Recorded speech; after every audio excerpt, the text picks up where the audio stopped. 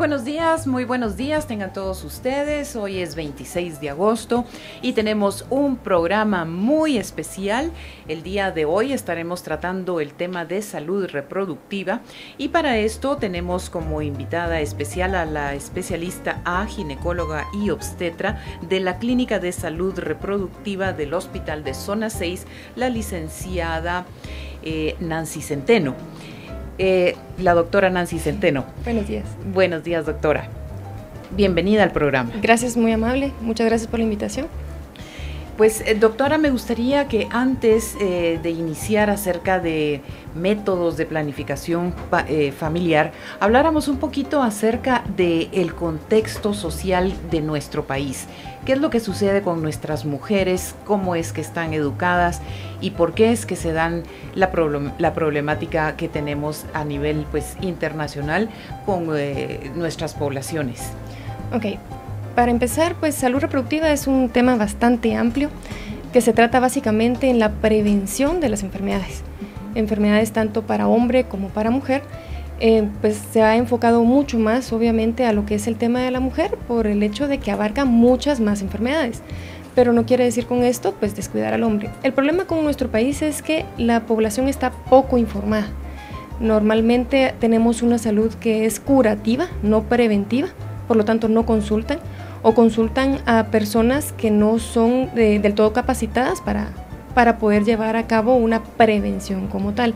Estamos hablando sobre todo en el área rural, ¿verdad? Donde no hay muchas veces el acceso a la salud necesaria, ¿verdad? O no se cuenta con los suficientes insumos y que muchas veces se recurren a otro tipo de, de especialidades, digámoslo así, ¿verdad? Como curanderos, comadronas, que muchas veces no se cuenta con la capacidad para prevenir las enfermedades o prevenir complicaciones, por ejemplo, eh, netamente del embarazo, ¿verdad? Hasta que ya están complicadas, entonces ya son referidas a lo que son centros o puestos de salud o a un hospital nacional o ELIX. Básicamente entonces lo que podemos hacer es que podemos dividir la salud reproductiva en dos, en dos eh, etapas. Eh, una lo que es la prevención de las enfermedades y la otra es el manejo adecuado de los embarazos. Exacto que básicamente se basa en prevenir complicaciones de las mismas embarazadas o de los mismos eh, bebés, ¿verdad? Que están a punto de, nacer o, naciendo, ¿verdad? Pero sobre todo es la prevención, eh, la salud reproductiva más, más enfocada a lo que es la prevención, no tanto al tratamiento, sino que la prevención o el diagnóstico oportuno, el diagnóstico temprano de ciertas enfermedades para poder evitar mayores complicaciones. Empecemos hablando eh, básicamente de cuál es el promedio eh, real del embarazo en nuestras mujeres y sobre todo nuestras mujeres en el interior de la mayor población y por qué sucede eso? La mayoría de las mujeres, sobre todo en el área rural, eh, tienen una vida sexual activa muy temprana, muy temprana edad. Esto ha aumentado los índices de embarazo en adolescentes, como ustedes han visto en los diferentes medios de comunicación, pues se ha dado pues un, repunte. Obviamente, eh, pues las leyes de nuestro país ahora están un poquito más rígidas en cuanto a eso, pero en, las, en el área rural sigue siendo un problema, una problemática real. Em, el hecho de la desinformación, no solo en madres adolescentes, sino que también en pacientes que a temprana edad, estamos hablando de 20 años, empiezan a tener hijos y no llevan un adecuado control de la eh, maternidad ni mucho menos de una prevención posterior para poder espaciar los embarazos. Entonces estamos hablando que una paciente que empieza su vida sexual a los 14, 15 años puede seguir teniendo hijos prácticamente 20 años de su vida o si no es que mucho más, ¿verdad? Asociado a esto, a no poder o no tener la suficiente información o el suficientemente acceso a los métodos de planificación familiar o el mismo tabú que existe en los métodos de ¿verdad? Donde solo la mujer puede planificar, o de hecho muchas, en muchas culturas o en muchas eh, etnias de nuestro país ni la mujer puede planificar porque tienen que venir los hijos que, que Dios mande, ¿verdad? Entonces eso sí es un verdadero problema en cuanto a cómo llegar a estos, mm, a estos pacientes, a cómo llegar a estas poblaciones y hacerles ver, ¿verdad? Que mientras más espacen los embarazos, mientras eh, controlen el número de hijos, pues van a poder ofrecerle más a sus hijos, ¿verdad? Una educación, una salud, una vivienda, una alimentación mejor para cada uno de ellos.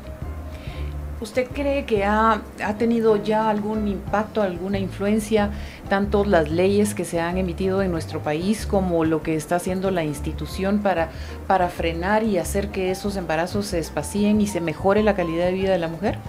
Sí, eh, hay muchas leyes, últimamente se ha venido como un bombazo en cuanto a las leyes de planificación familiar, ¿verdad? Una maternidad segura o eh, métodos de planificación que cubren a todas las personas. No hablemos, como usted mencionaba, ¿verdad?, de, a nivel nacional, sino que hablemos de la institución.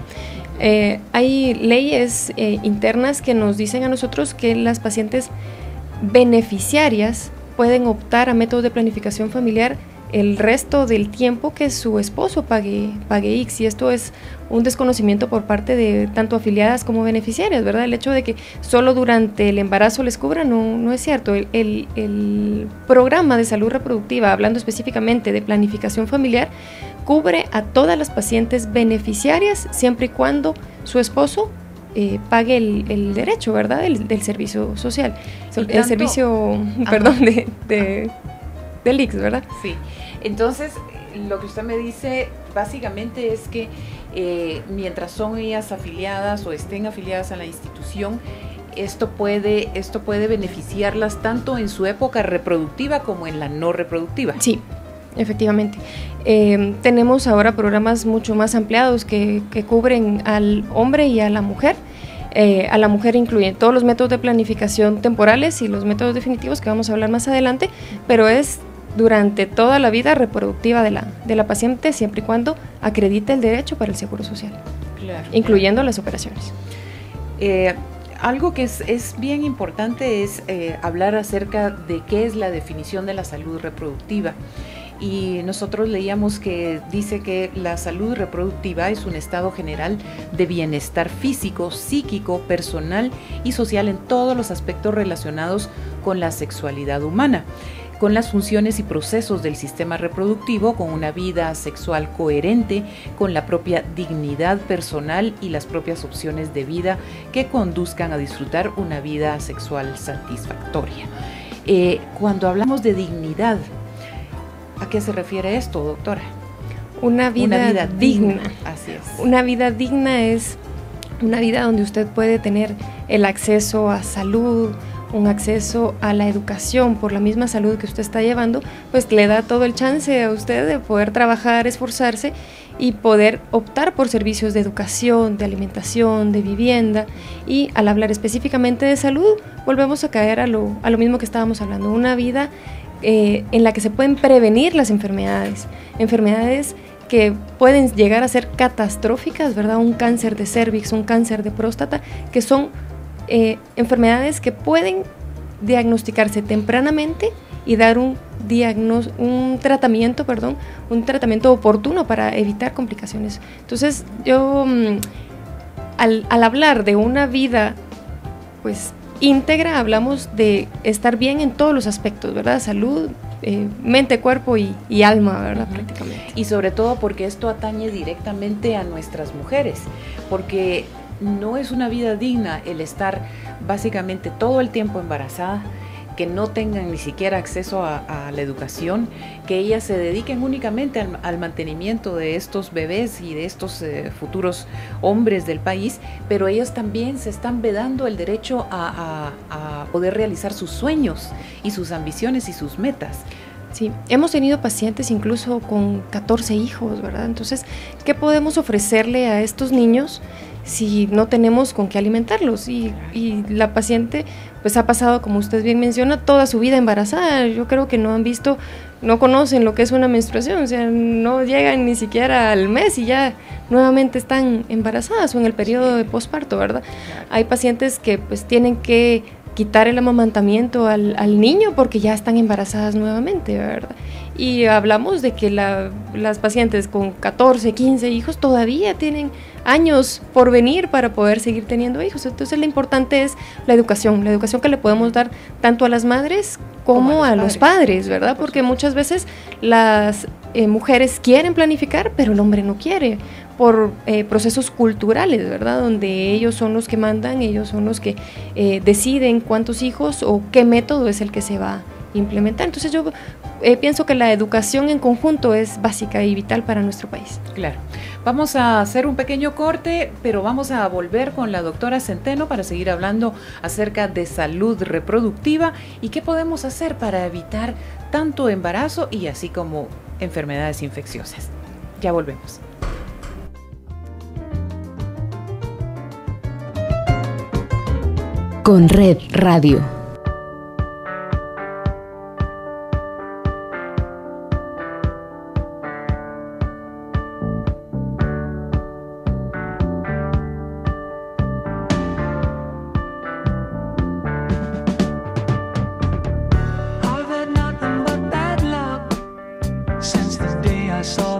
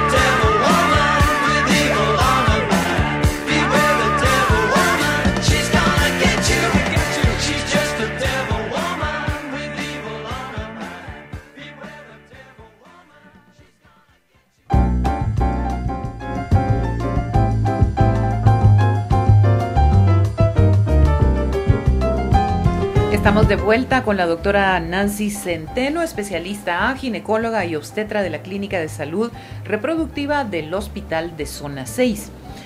Doctora, coméntenos un poquito acerca de los indicadores de salud reproductiva en nuestro país. Bueno, em, básicamente estos indicadores se basan en la tasa de natalidad, en la em, problemática que hay y que es palpable en cuanto a la muerte materna que es algo, es un cáncer realmente en nuestra sociedad, donde todavía no se ha podido combatir del todo la, muerte materna, como se menciona, ¿verdad? De cómo alguien que da vida puede terminar muerto, ¿verdad?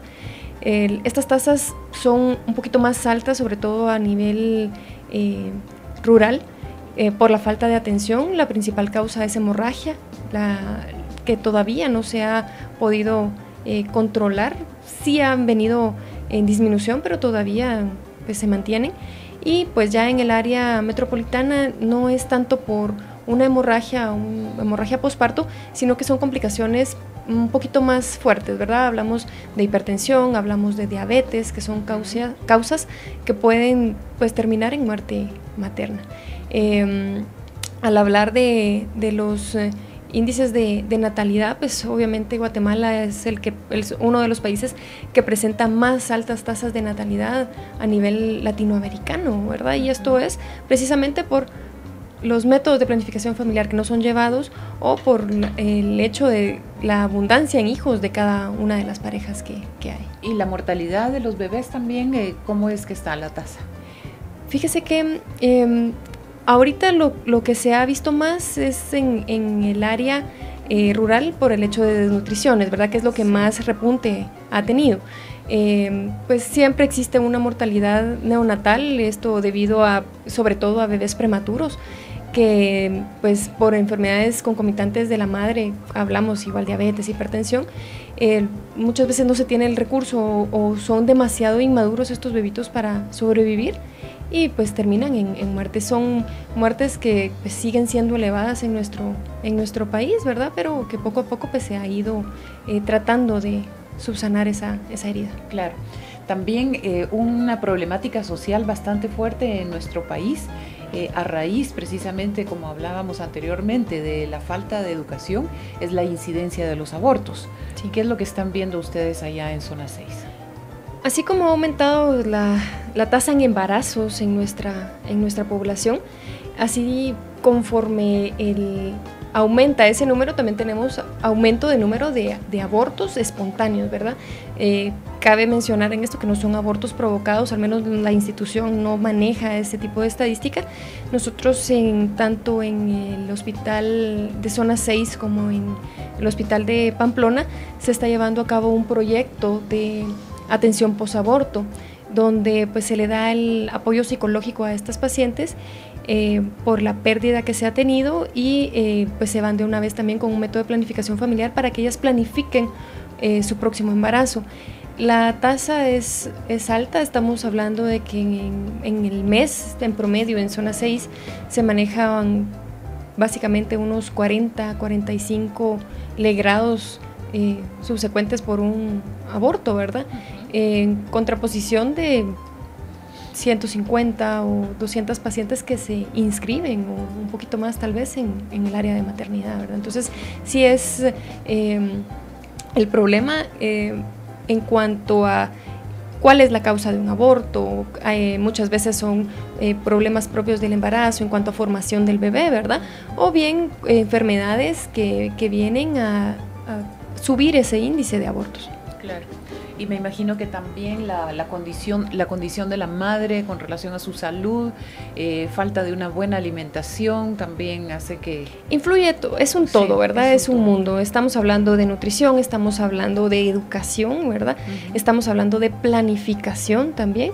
Y aparte, pues las enfermedades genéticas que pueden tener estos bebitos en formación o enfermedades que ya trae la madre, que muchas veces la hacen a ella abortar, ¿verdad? Sin, sin consentimiento, digámoslo así, ¿verdad? Porque son enfermedades que son eh, en contra del embarazo, enfermedades propiamente de, defensa del organismo o enfermedades como metabólicas como la diabetes, por ejemplo. Claro, y también se pueden ver ahí enfermedades como viruelas, sarampiones y todo este tipo que... Enfermedades infecciosas tienen un, un, su aporte importante en cuanto a la cantidad de abortos que podemos tener en nosotros. Y sobre todo por la región en la que nosotros nos encontramos, ¿verdad? Como país. Sí, eh, la prevención, y volvemos a caer en lo mismo, ¿verdad? Toda paciente que no se vacune o toda paciente que no tiene medidas higiénicas, hablando por ejemplo en cuanto a toxoplasma, ¿verdad? Que no es malo el hecho de tener felinos en casa, sino que el problema es la higiene que se pueda manejar con estos felinos.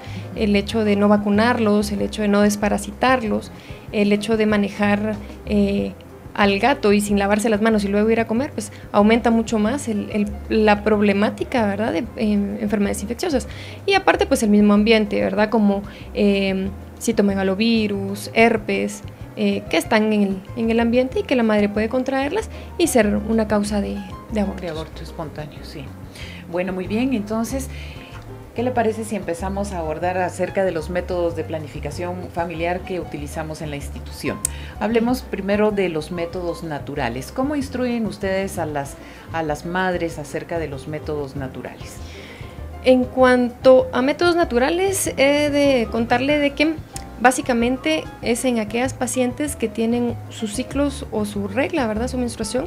Eh, de una forma constante, ¿verdad? Tiene que ser utilizado en aquellas pacientes que son regulares, eh, hablamos de, un, de sus ciclos entre 25 y 35 días o 36 días y que en base a eso se maneja la etapa de ovulación que puedan tener estas pacientes. Para eso nos, nos valemos eh, de apoyos como el collar, ¿verdad? Para explicarles a las pacientes eh, que el collar no es más que una especie como de rosario, si lo queremos ver de así. Cuentas. De cuentas, ¿verdad? Un, collar de perlas que se va corriendo en cuanto a los días fértiles y días no fértiles de, la paciente, me explico. este collar cuenta con una perla roja, que es el primer día de la menstruación, Luego cuenta con perlas cafés, que son los días infértiles, que es probablemente donde la paciente está sangrando o termina de sangrar. Y luego empieza a contarse unas perlas blancas, que son los días fértiles de la paciente, donde ella debe abstenerse de tener relaciones sexuales o bien eh, utilizar algún método de barrera. Y por último, pues eh, terminamos con unas perlas cafés, que son los días nuevamente infértiles. Muchos pacientes pues no están muy acostumbradas o por el mismo proceso de irregularidad menstrual que se, que se lleva en, nuestra población, que es bastante alto también, eh, se quiere una tasa de confiabilidad un poquito mayor, ¿verdad? Estos métodos, sabiéndolos llevar muy bien, pueden alcanzar arriba del 90%, pero requiere mucho conocimiento de la paciente en cuanto a su cuerpo, a cómo reacciona su cuerpo, para poder saber cuándo ella está ovulando. Otro método que se utiliza es el, el método del moco cervical, ¿verdad? Que mm, cuando la mujer está en su periodo ovulatorio, normalmente va a haber un poquito mayor humedad en sus genitales y eso es lo que ella debe de, conocer, la calidad del moco cervical que se, está, que se está llevando y no confundirla con infecciones vaginales o flujitos, ¿verdad? Que puede tener la mujer, porque eso sí nos puede perjudicar a la hora de, de, saber cuándo o no tener alguna relación. Y, una equivocación mínima representa un representa embarazo. Así es. Sí. Y tal vez lo que, mm, hablando de madres como tal, pues el, método natural que, que, exhortamos es amela, ¿verdad? Que es el hecho de dar amamantamiento al niño, dar de mamar al niño. Eh, como mínimo seis meses, ¿verdad? Que es lo que dura el, el método, idealmente pues mayor de un, de un año debería de ser la, la, lactancia. Ya sabemos que aprovechando que acabamos de pasar la semana de lactancia materna, sabemos que es lo mejor, el mejor regalo que le podemos dar a nuestros, a nuestros hijos, ¿verdad?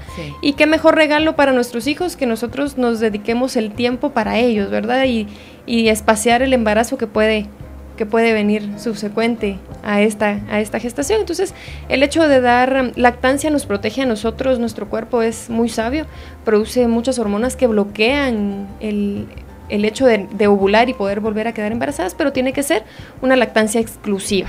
Hablamos de exclusiva, no dar biberones, ¿verdad? Con, fórmulas o con agüitas eh, naturales, sino que simplemente dar pecho prácticamente que todo el día, ¿verdad?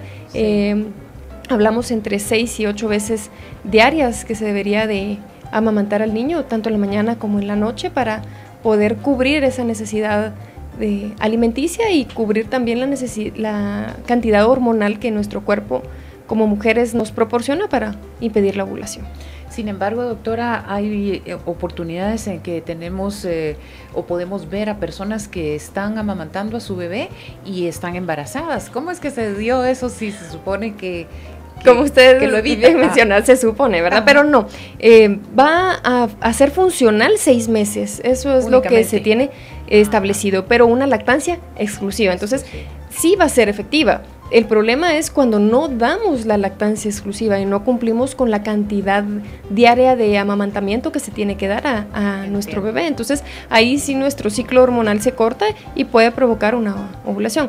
Y es importante decir también que el método de Mela funciona únicamente si la paciente em, no ha visto su menstruación, si la paciente ya vio su menstruación durante esos seis meses, tiene que cambiar de método, ya no es efectivo. Ya es una vez, de ser madre nuevamente. Así es. Una vez ella mira su menstruación, se corta toda probabilidad de que este método funcione. Ok, entonces ya saben, amigas que nos están escuchando, si ustedes ya vieron su menstruación, ya tienen que cuidarse porque en cualquier momento pueden quedar embarazadas a pesar de que estén dando lactancia. Y es importante recalcar que solo tiene una cobertura de seis meses, ¿verdad? No mayor de seis meses. Muchos, muchos pacientes incluso con cuatro meses ya miran su menstruación y ahí se, se acaba el método, ¿verdad? Pero tiene una duración normalmente de seis meses. Ok. Hablemos ahora acerca del condón. Ok. Es uno de los métodos de, barrera eh, importante también recalcar que los métodos que estamos hablando en este momento pues son los que cuenta el instituto para su promoción, no quiere decir que solo estos estén. Eh, como método de barrera, el condón es como por excelencia el método más conocido a nivel mundial, ¿verdad? Eh, pues se utiliza sin necesidad de receta médica, es un buen método para, para llevar siempre y cuando pues se utilice adecuadamente. ¿Cómo se utiliza? pues obviamente en el acto sexual a la hora de que el pene está bien erecto, ahí es donde se debe de colocar justamente antes de introducirlo en, la mujer, ¿verdad? Porque muchas veces o muchas parejas están mal informadas y es se lo colocan previo a la eyaculación y realmente pues ahí ya, perdimos todas las propiedades o aumentamos más el hecho de que se pueda dar un, un embarazo por el líquido preseminal que más de algún espermatozoide puede puede llevar, ¿verdad? Entonces es importante colocarlo bien, de una manera adecuada. Eh, no muy ajustado, verificar que no esté roto, ¿verdad? O, abrirlo, sobre todo, adecuadamente, se abre con las manos, ¿verdad? Porque hay muchas pacientes que lo abren con tijera o con otros métodos, ¿verdad? O con los dientes, pero, eh, siempre hay que tener cuidado a la hora de colocarlo, no colocarlo muy ajustado no y, y, ver, ¿verdad? Si está roto, pues ese condón ya no, ya no sirve, ¿verdad?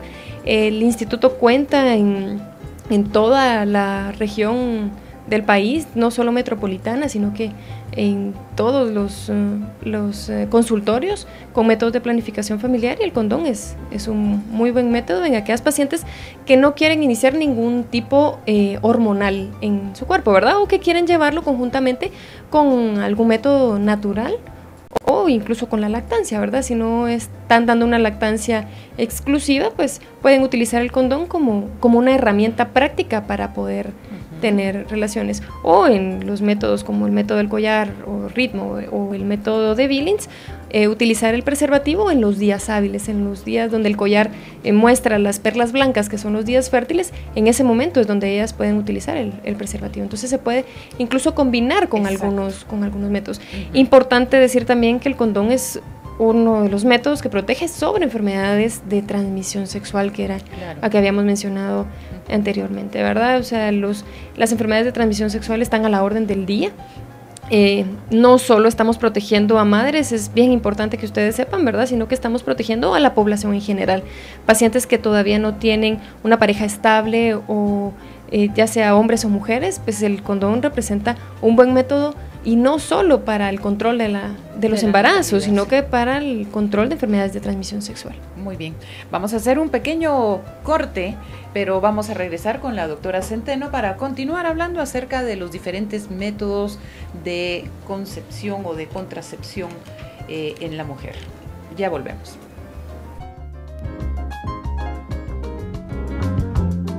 Comunícate con nosotros 2385 4150. Con Red Radio.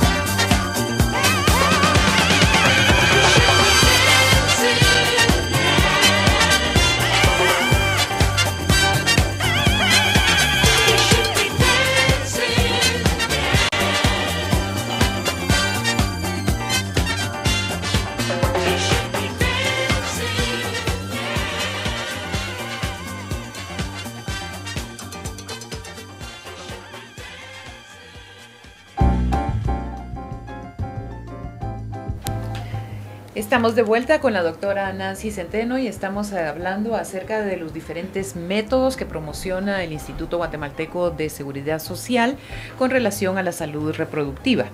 El próximo método que tenemos que abordar es la súper reconocida llamada la inyección. la inyección eh, que en algún momento pues hemos usado y que es de las que más se utilizan porque son de las más confiables. ¿Qué nos puede comentar acerca de esto, doctora? Bueno, la inyección utilizada en el instituto es la inyección de tres meses. No contamos actualmente con la inyección del mes, que es un proyecto que se tiene a corto plazo, ¿verdad? Poder implementar este, este método, pero pues todavía no se ha llevado. Y la inyección de tres meses, pues comúnmente conocida como una marca registrada, como la DEPO, ¿verdad? Consiste en una inyección de un medicamento llamado medroxiprogesterona que tiene una validez de tres meses. Se coloca la inyección y hasta dentro de tres meses pues la paciente se puede volver a preocupar para cambiar de método o para continuar con el mismo método. Tiene una eh, bastante aceptación por las pacientes, tanto en periodo de lactancia, que se puede utilizar en periodo de lactancia, eso es bien importante de saber, ¿verdad? Que tanto el preservativo como la inyección son métodos confiables para lactancia, no va a interrumpir en nada para la producción de la leche ni va a tener ningún efecto secundario para, para el bebé. Se puede colocar en cualquier momento, idealmente se colocaría con la menstruación, ¿verdad? Y luego, pues si no se tiene la menstruación, se puede colocar en cualquier momento, solo teniendo cuidado la primera, entre los primeros 10 días, ¿verdad? De utilizar algún método de barrera, o bien en pacientes eh, posparto o posaborto se puede colocar eh, en en el momento del pos, posparto, ¿verdad? Hablando de posparto, son seis semanas después del posparto y en posaborto se puede colocar inmediatamente después de un legrado o cuando la paciente vaya a egresar del, del, hospital, que es lo que normalmente nosotros hacemos en las pacientes que quieren este método. Eh, este es un método bastante bueno, bastante aceptable. Eh, pues es importante saber, ¿verdad?, que todos los métodos tienen efectos secundarios, pero que va a depender de cómo el cuerpo de la mujer lo vaya aceptando. Asimismo, al hablar de, del tiempo de uso de cada uno de los métodos, pues es cuestión de acercarse con su promotora o con su ginecólogo en, en, la, en el área de salud reproductiva o, o, en el IX y saber cuál es el mejor método para la paciente. Al final de cuentas, la paciente es la que decide qué método se quiere colocar. Nosotros solo podemos dar una orientación en cuanto al método y eh, pues ella decide cuál de los métodos y cómo eh, su cuerpo, por decirlo así, va a ir aceptando dicho, dicho método. Eh, las pacientes en, en, en el IX eh, tienen una preferencia bastante ardua por lo que es la inyección de tres meses y pues estamos a la disposición. doctora, ¿qué contraindicaciones podría tener esta inyección? Por ejemplo, em, en pacientes el, uso largo en estas pacientes puede provocar eh, un poquito de debilitamiento en los huesos, que se conoce como una osteopenia, eh, aparte de que puede tener problemas en cuanto a eh, presión arterial o pacientes que tienen problemas en la menstruación, ¿verdad? Pacientes en, las que no estamos eh, con un diagnóstico certero de por qué están teniendo manchados o, una menstruación muy irregular, muy abundante, primero hay que hacer los estudios para ver que no tenga ninguna patología de base para poder colocarla. Ok, y entonces para eso es que ustedes tienen algún departamento de consejería en donde pues puede llegar la paciente, comentarles cuáles son los síntomas que está teniendo, hacer un cambio en el método que está utilizando y, y pues ya salir adelante de esa situación. De hecho, las pacientes acuden a la clínica de salud reproductiva, ahí se les presta la información de cada uno de los métodos eh, y en base a eso pues ya se decide. Incluso las pacientes que son afiliadas, que tienen derecho, pueden pasar a la clínica de ginecología, ahí se les hacen sus estudios y si no hay ningún, por ejemplo, en estas pacientes que mencionábamos, ¿verdad? Con hemorragias disfuncionales, pasan a la clínica de ginecología y si no hay ninguna contraindicación, pues ya continúan en la clínica de salud reproductiva con algún método de, planificación familiar. La píldora. La famosa píldora. La famosa píldora. Sí. Esta píldora pues eh, ha estado en el mercado desde hace ya muchísimos años y me imagino que estas nuevas versiones son mucho menos problemáticas que en su entonces porque eh, pues yo la usé en algún momento de, de mi juventud y, y, sí, incluso pues eh, me presentaron a pequeñas bolitas y bueno, una serie de malestares. Estas han venido Estas píldoras que son ahora. Bastante. Las píldoras tienen dos medicamentos. Normalmente uh -huh. existen en el mercado eh, pues infinidad de marcas que se pueden conseguir. Sí. Existen píldoras eh, o pastillas, ¿verdad? Anticonceptivos orales que pueden tener dos hormonas o una, una sola hormona. Las que manejamos en el instituto son las que tienen dos hormonas. Tienen etinilestradiol y norgestrel con las dosis más bajas, ¿verdad? Que, que, se, pues conforme se ha evolucionado, como usted bien mencionaba, se ha visto que tiene el mismo efecto utilizar dosis altas que con dosis bajas con menos efectos secundarios. Claro. Eh, pues las, las, pastillas que se están utilizando pues, tienen dosis bajas, pues, hay otras en el mercado que pueden conseguirse con menor dosis, pero las que tenemos son bastante aceptables. Importante saber que como son dos hormonas, pues no las podemos utilizar en la lactancia, solamente se pueden utilizar en pacientes que no están amamantando, ¿verdad? Uh -huh. eh, estas eh, pastillas o pastillas anticonceptivas no solamente la van a proteger a la paciente en cuanto a embarazo, sino que también pueden darse como tratamiento en enfermedades ginecológicas. Al hablar de, por ejemplo, varios poliquísticos, al hablar de hemorragias eh, uterinas disfuncionales sin, con causa hormonal aparente, para ¿verdad? Entonces, para regularizar uh -huh. el, el, ciclo. Sí. Aparte, pues que le da el, el, control y el alivio a la, a la paciente de saber que ella está manejando su control de, de embarazo, ¿verdad? Uh -huh. Lo importante de estas pastillas es pues, que se deben de tomar todos los días. No dejarla a la de misma tomar hora. A la misma hora. Okay. Eh, según indicaciones, pues eh, idealmente debería ser en la noche porque tiene, presenta un poquito menos de, de efectos secundarios para, para la paciente, ¿verdad?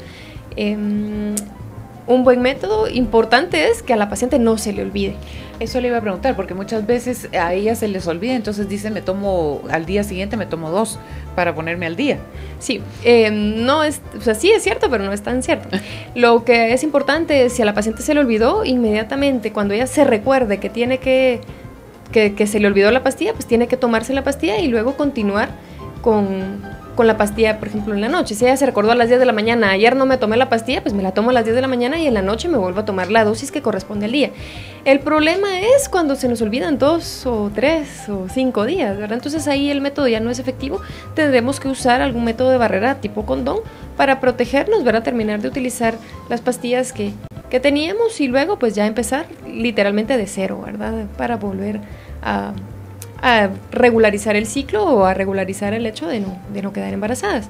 Eh, importante que estas pacientes que llevan esta, este método tienen que tener mucha conciencia de que o sea, el método se debe llevar como se debe de llevar, ¿verdad? Porque sí. si no, quedamos embarazadas. Sí, y no nos hacemos responsables. Sí. Hablemos ahora de los dispositivos intrauterinos, que en algunas oportunidades yo tengo mis, mis reservas con relación a los dispositivos, porque en algunas oportunidades funcionan, pero en otras eh, los espermatozoides son todavía más inteligentes y, y, y los pasan. Exactamente. Mm, no están así. Normalmente todos los métodos de planificación familiar tienen una tasa de falla. Uh -huh. Todos, absolutamente todos. Okay. O sea, la, las únicas dos formas de no quedar embarazada es la abstinencia total y el hecho de no tener útero, ¿verdad? Y ahí todos los métodos pueden fallar, incluso la operación, que es bastante segura, también puede, puede fallar. Uh -huh. En cuanto al dispositivo, es una cobertura bastante grande, es un hasta un 99.5% de efectividad. Y el componente que es clave en esto es el cobre. El cobre, aparte de causar una reacción inflamatoria al, al interior del útero, el cobre hace que los espermatozoides se inmovilicen, entonces normalmente pues no, no corren hacia, hacia arriba, ¿verdad? Y si hay alguno fugado, como usted dice, pues allá adentro es, eh, adentro del útero está tan hostil el, el medio que, o sea, normalmente no, no sobreviven, ¿verdad? Todos los métodos, como mencionaba, pues van a tener su, sus pros y sus contra. Hay indicaciones para utilizar la, la T de cobre, hay eh, contraindicaciones para utilizarlo. Ahora, si tenemos, por ejemplo, pacientes con hemorragias que no hemos podido controlar o que eh, no sabemos la causa, pues no le coloquemos una, una T de cobre. O tenemos pacientes que tienen úteros muy grandes, por ejemplo, con una mematosis, úteros de 20, 25 centímetros, pues no es útil, ¿verdad? Porque no va a cubrir lo, que nosotros deseamos. Pero en sí es un método bastante bueno. De hecho, ahorita en, en, la, en la institución hemos tenido un repunte. Eh, en los últimos dos meses normalmente había un promedio de 6 o 7 colocaciones por mes. Ahorita hemos tenido de 15 a 17 colocaciones al mes. Entonces, quiere decir que la gente lo está conociendo y que sabe que es confiable. Obviamente con sus efectos secundarios como cualquier otro método, pero es Provoca un poquito de dolores, ¿verdad? Provoca un poquito de dolor al, al tener menstruación, puede provocar un poquito más hemorragia y un poquito más de flujo vaginal, pero no en todas las pacientes. Así como, por ejemplo, el preservativo puede tener irritación en los genitales o la inyección que a muchos pacientes las engorda, a otras las adelgaza o que tienen manchados en todo, en el transcurso de los tres meses, mientras el cuerpo se va acostumbrando, dejan de menstruar, ¿verdad? O la pastilla, ¿verdad? Que como habíamos mencionado anteriormente, si se les olvida, igual pueden tener hemorragias, pueden tener dolores de cabeza, dolores de piernas, mal humor, pero va a depender de cómo la mujer lo, lo acepte y no predisponerse, ¿verdad? No, las inyecciones me causan mal humor, por eso es que estoy malhumorada, no. O sea, hay que ver cómo el cuerpo reacciona ante cada uno de los métodos. Y la T de cobre por lo regular, pues en cuanto a términos hormonales, pues no influye absolutamente en nada porque es un método mecánico que va colocado dentro del útero de la, de la mujer. Y, lo bueno de todos estos métodos, doctora, es que nuestras mujeres tienen la opción de poder cambiarla en, al, método que más les satisfaga y con el cual ellas se sientan más cómodas. Así es. O sea, presentan efectos secundarios, se puede cambiar, no es necesario pues esperar el transcurso de hasta que tengan su cita, sino que muchas veces acuden con nosotros a la clínica de salud reproductiva y ahí mismo, pues en el caso, por ejemplo, específico de la T de cobre, si está molestando mucho, si tiene mucha hemorragia, pues se puede puede cambiar inmediatamente, ¿verdad? El, método. Em, igual con las pastillas, igual con los preservativos. El, tal vez se le queda un poquito más de problema en cuanto al cambio es la de Poprovera porque tiene una cobertura de, tres meses, ¿verdad? O la inyección de tres meses. Pero por lo general los métodos pues son bastante aceptables. Son muy pocas las pacientes que deciden cambio de método y normalmente las consultas por eh, cambio de método oscilan entre dolor de cabeza eh, o irritación, ¿verdad? O porque ya pues terminaron de lactar y pues quieren empezar a ver sus ciclos en el caso de la, de la depoprovera o inyección trimestral. Ahora hablemos acerca de un método que es radical y definitivo, que es la operación. Sin embargo, usted estaba comentando de que en algunas ocasiones hasta han visto después de operadas embarazos. Sí, porque como mencionábamos, el 100% de efectividad solamente la abstinencia. Solo una previa en cuanto a la T de cobre, en cuanto a duración tiene 10 años de duración las, las T de cobre que se colocan, sin cambiarla. entonces sin cambiarla. Sin cambiarla. Entonces es un buen método para aquellas pacientes que quieren una planificación de, largo plazo. De largo plazo, sí, de largo Y hablando, pues ahora sí, de la operación de la mujer, pues em, lo que se hace es que se localiza el útero tiene como dos bracitos, ¿verdad? Y esos dos bracitos son los que nosotros amarramos, cortamos y a veces hasta quemamos, ¿verdad? Para que ya no haya el paso de lo que es el óvulo y la comunicación con el espermatozoide, que es la parte que el, hombre nos, nos brinda. ¿verdad? Entonces, es como una tubería. Si nosotros cortamos la tubería, no va a haber agua. Entonces, lo mismo pasa con, con las trompas. Nosotros cortamos las trompas para que no se dé la, la fecundación. Es un método bastante efectivo. Nosotros hemos tenido una muy buena aceptación, sobre todo en, eh, se realiza más en las pacientes posparto, ¿verdad? Posparto inmediato, que las pacientes tienen su parto y luego se pasa a las operaciones para hacer la operación. Si es una cesárea, se hace durante la cesárea, ahí es donde se practica la, la operación. Y en las pacientes que no están embarazadas y que optan por el método también se puede hacer. Es un método eh, bastante confiable, es un trámite pues que se realiza conjuntamente con trabajo social y ya se programa la señora, se opera y todo bien. Hay que estar bien conscientes de que estos métodos son métodos definitivos, ¿verdad? La paciente no tiene que ir con la idea de que ah, me lo pueden desamarrar, porque, o sea, no se puede desamarrar, o sea, cortamos, amarramos y no hay vuelta atrás. Número de hijos deseados es el número de hijos que realmente como pareja ellos decidieron tener y ya no hay vuelta atrás. Claro, claro. Pero lo, lo, interesante de todo es que ustedes están allá para prestar el servicio Sí. de informarles a las mujeres qué es lo que pueden, qué es lo que puede ocurrirles, Sí. eh, los pros y los contras para que ellos en pareja tomen una decisión eh, acerca de cómo es que quieren vivir su salud reproductiva. Así es. Y esto es para pacientes afiliadas y beneficiarias, independientemente de la etapa de vida en la que se encuentren. Siempre y cuando cumplan con los requisitos requeridos, se puede operar tanto a afiliadas como a beneficiarios.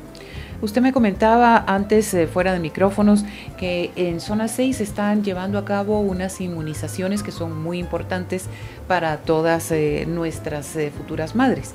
Coméntenos acerca de esto. Pues se está llevando, bueno, actualmente en muchos nuevos proyectos en lo que es la institución. En Zona 6 tenemos dos proyectos, eh, o prácticamente tres proyectos importantes que han sido la reestructuración de lo que es la clínica de posparto y atención posaborto, ¿verdad? Que se agruparon estas pacientes para poder darles un mejor eh, servicio. Son vistas por especialistas, eh, tanto pacientes posparto, poscesárea o posaborto, al igual que en las madres adolescentes. La, el otro proyecto que habíamos mencionado en las pacientes posaborto, de una vez se van con el método de planificación familiar. Esto es un proyecto que ya venía del Hospital de Pamplona y que pues fue eh, pasado a, la- a lo que es zona 6 y que ha venido creciendo y igualando en, en el servicio ¿verdad? que estamos prestando. Y por último las inmunizaciones que estamos vacunando ahora contra el tétanos en todas las pacientes embarazadas en el quinto y séptimo mes de gestación. Son dos dosis las que se colocan, ¿verdad? Entonces, idealmente que las pacientes acudan a su inscripción temprana para que al llegar al quinto mes ya se puede poner la primera y en el séptimo mes la segunda dosis, que es un nuevo proyecto prácticamente tendrá un mes. Entonces es importante que la gente esté informada para que pregunte a, a su doctor, ¿verdad? Y que sea, que sea enviado. Bueno, pues esa es una muy buena noticia que usted nos está trayendo en este momento. Y pues eh, el tiempo ya ha transcurrido, sin embargo vamos a tratar este último tema acerca de las, las vasectomías, porque hemos estado hablando de que solo las mujeres tienen métodos eh, contraceptivos, pero también existen definitivos para el hombre. Así es, y solo hacerles eh, la invitación a todos los caballeros que ya no quieran tener más, más hijos, ¿verdad? Como método definitivo la vasectomía, Zona 6 es el centro nacional de referencia. No necesitan mayor cosa más que las ganas de llegar, con, eh, hacer el trámite con trabajo social.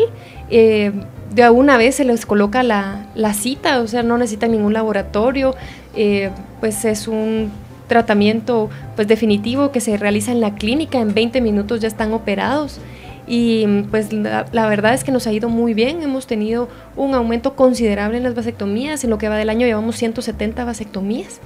Eh, y solo es cuestión de que los trasladen eh, ya sea de sus periféricas a salud reproductiva de una vez directamente, o sea, con una hoja de traslado, decir, el, el, paciente desea vasectomía, no necesita laboratorios, llegan con nosotros, ese mismo día se van a trabajo social y ese mismo día programamos la cirugía que estará para una o dos semanas y mucho. ¿Y qué molestias puede, puede traer Normalmente esta operación? las, las molestias son molestias locales en, en el día de la operación y probablemente los primeros cinco días que van a tener un poquito leve dolor, eh, un poquito de eh, inflamación. inflamación. ¿verdad? Pero se les da tratamiento. Y en cuanto a efectos posteriores, pues son muy raros. Eh, normalmente pues no, no, hemos tenido mucha incidencia, un poquito insistimos con el dolor, ¿verdad? Que es lo que, con lo que más se han, han quejado, un poquito de cambios de coloración en cuanto a moretes, por decirlo así, pero esos desaparecen, no interrumpe para nada lo que es el acto sexual, la eyaculación, ellos siguen eyaculando y mucho menos la erección. Eh, pero en las primeras 20 eyaculaciones se tiene que tener cuidado, ¿verdad? Sí, se tiene que tener cuidado porque nosotros eh, recomendamos, ¿verdad? Que utilicen hay. cualquier otro método de planificación familiar. De hecho, sí. en, en, el instituto se les da preservativos por 20 eyaculaciones o tres meses, lo que llegue primero, porque todavía hay capacidad eh, para, para poder embarazar, ¿verdad? Por eh, las vesículas seminales que son las que guardan el, el, el esperma que, que, nosotros cortamos, los conductos que comunican los testículos con ese tipo de, de bodegas, ¿verdad? Uh -huh. eh, 20 eyaculaciones, se hace un espermograma control y que el recuento salga en cero, ¿verdad? Y ya con eso se cerró la fábrica. Se cerró la fábrica, muy bien dicho. Bueno, pues muchísimas gracias a la doctora Nancy Centeno. Tiene los micrófonos para hacer unas últimas recomendaciones a todas las personas que nos están escuchando, doctora. Bueno, pues muchas gracias. Solo invitarlos a todos, ¿verdad? A que llevemos una saludable salud reproductiva, valga ahí la, redundancia, en buscar a nuestros proveedores de salud para poder llevar a cabo un adecuado control prenatal, un posparto adecuado, eh, los métodos de planificación familiar, el control de cáncer de mama, cáncer de cervix, cáncer de próstata y las operaciones esterilizantes. La importancia de recalcar que las pacientes que ya están con citas, que están afiliadas o beneficiarias, que acudan a sus citas, que no abandonen el tratamiento, que es por el bien de ellas y por el bien familiar. Así es, y como decimos nosotros en la institución, más vale prevenir que lamentar. Estamos con ustedes en el Ix en su casa. Les saluda como siempre Diana Michán.